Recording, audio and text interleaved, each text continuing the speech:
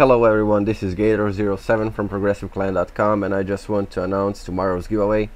Two people supported me in this, uh, their names are SAD Caitlyn and This is a Waste of Life. All items are free so make sure to be online on normal difficulty default league.